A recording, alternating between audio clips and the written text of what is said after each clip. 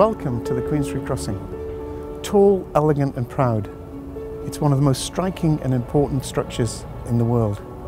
It connects Edinburgh to the Kingdom of Fife and spans some 2,638 metres across the Firth of Forth. It is actually one of the largest cable-stayed bridges in the world. In terms of three towers, it's the longest cable-stayed bridge in the world. Its towers, just a little under 210 metres tall, make it the tallest bridge in the UK, higher than the highest point within Denmark.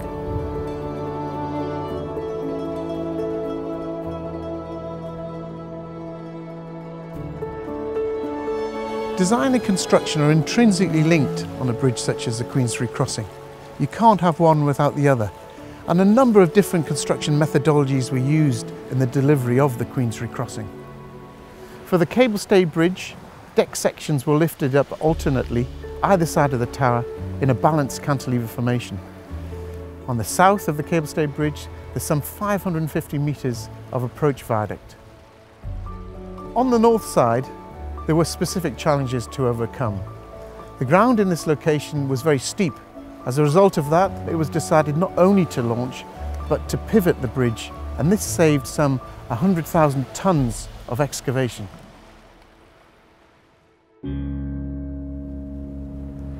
The Queensferry Crossing sits alongside the Forth Bridge and the Forth Road Bridge.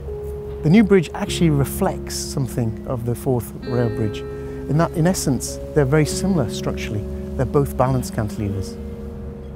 On the rail bridge, the stiffness is generated through massive tubular members, whilst on the Queensferry Crossing, that stiffness is generated by the introduction of overlapping stay cables.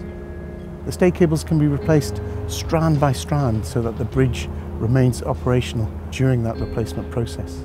And actually, wind within the Firth and Forth is a key consideration, both in service uh, and during construction. And in service, what we have are wind barriers to actually protect the users of the bridge and increase the availability of the structure. So the Queensferry crossing is far more likely to be open to traffic during those severe wind events than the existing bridge.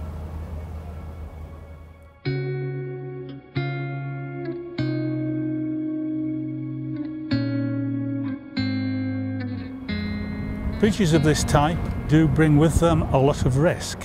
And so it's quite usual for contractors to join into joint ventures to share that risk. On this site, weather conditions have been enormously influential. Yes, we are next to Edinburgh, but actually out there on the bridge deck, you would think you're out in the North Sea.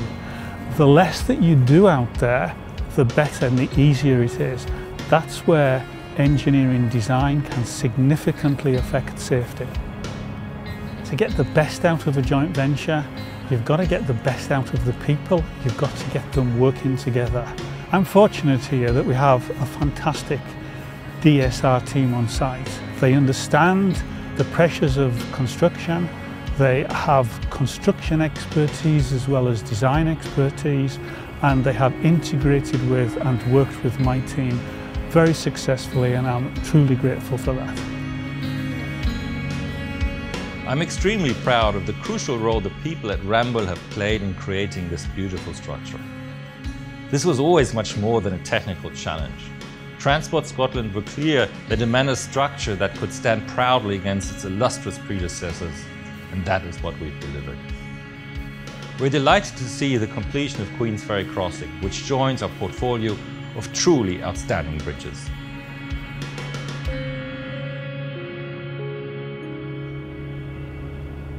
Tall, elegant and proud, and now complete.